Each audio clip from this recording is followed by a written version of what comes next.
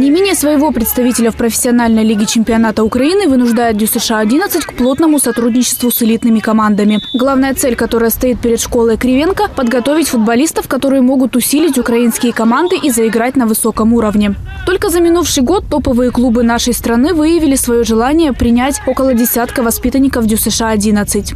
В прошлом году выехали э, в Днепр, Днепропетровск в академию. Шесть ребят нашей школы.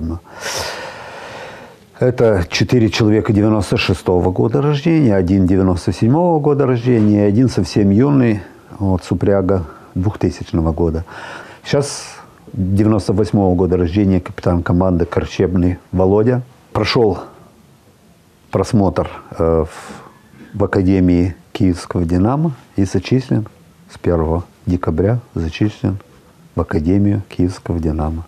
Такая востребованность одесситов на футбольном рынке объясняется не только игровым талантом юноши, но и вкладом высокопрофессиональных тренеров. Ведь каким бы ни был алмаз, чтобы он стал бриллиантом, ему нужна качественная огранка. Тренеры ДЮСШ-11 ежемесячно проходят курсы обучения и аттестацию. Экзамены принимает самый строгий учитель, сам директор школы Георгий Филиппович. Самое сложное в нашей работе – это тренерско-преподавательские кадры.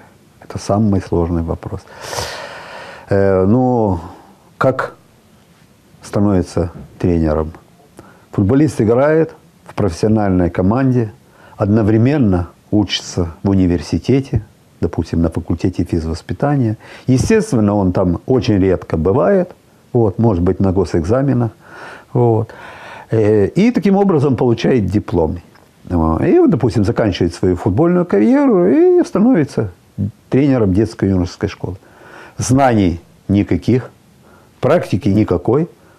Он тренер.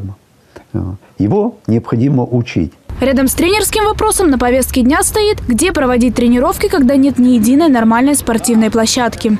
У нас на сегодняшний день, на сегодняшний день построены нами, нами, нашим тренерским преподавательским составом уже шесть спортивных баз.